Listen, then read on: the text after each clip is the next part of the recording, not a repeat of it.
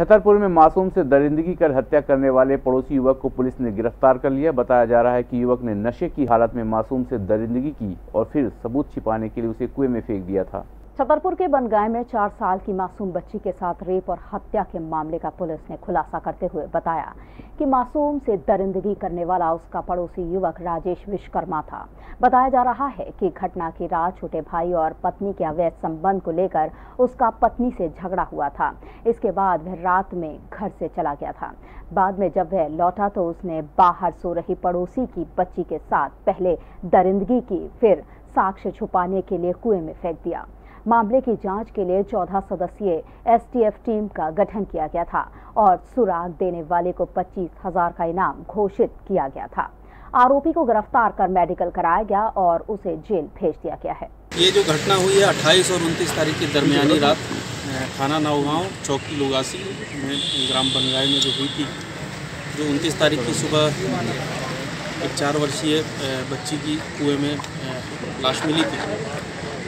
उस संबंध में अपराध पर निबद्ध कर अनुसंधान शुरू किया गया था। अनुसंधान में चौदह सदस्यीय स्पेशल इन्वेस्टिगेशन टीम का गठन किया गया इस मामले में जब संदिग्धों से, बारीकी से पूछताछ की तो मृत बालिका के एक पड़ोसी राजेश विश्वकर्मा के बारे में पता चला, जो 28 तारीख की रात को अत्यधिक शराब का सेवन उन्होंने किया था और गांजे का सेवन किया था।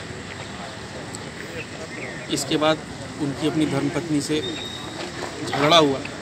इस बात पर झगड़ा हुआ कि उनकी पत्नी का उनके छोटे भाई से अवैध संबंध है।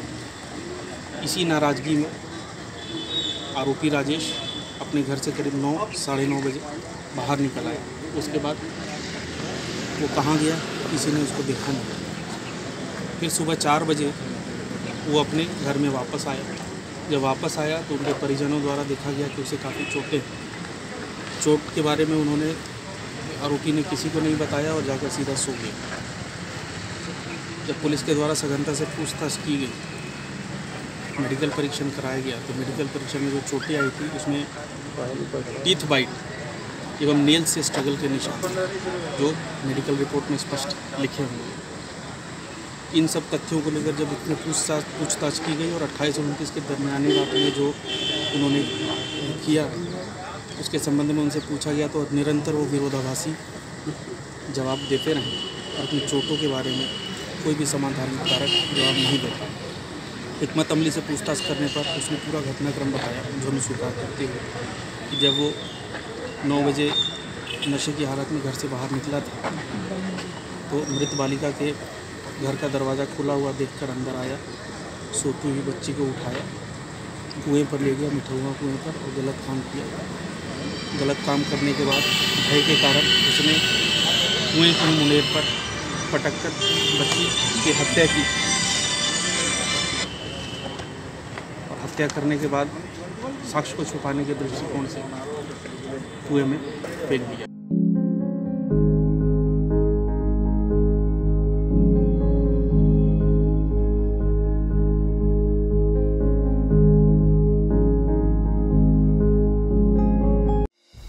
संगीत की स्वर लहरियों से सांस्कृतिक ताने बाने तक चंबल के पीड़ों से नक्सलवादियों के गढ़ तक झोपड़ी से महलों तक ठेलों से मेलों तक पगडंडियों से सड़कों तक गाँव से शहरों तक व्यापार से उद्योगों तक। राजनीति से कूटनीति तक। दखन न्यूज़। आपके हक